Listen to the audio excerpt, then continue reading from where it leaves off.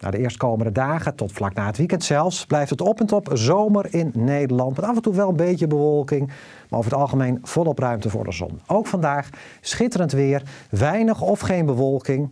En het wordt vanmiddag een graad of 20 op de Waddeneilanden. Tot 28 graden in Brabant en Limburg. En aan de westkust kan het eerst ook 25 graden worden. Maar als de wind wat gaat bijdraaien naar het noorden, koelt het op het strand een paar graden af.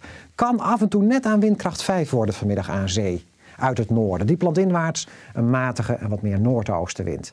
Komende nacht is het vrijwel onbewolkt bij een graad of 14. De wind neemt wat af. Morgen overdag neemt hij weer wat meer toe tot een kracht 4.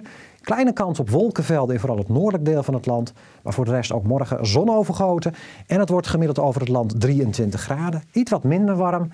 Maar de dagen daarna komen de temperaturen weer hoger uit. Zomerse maximumtemperaturen veelal van zo'n 25, 26 graden. In het zuidoosten kan het af en toe 30 graden worden vanaf zondag.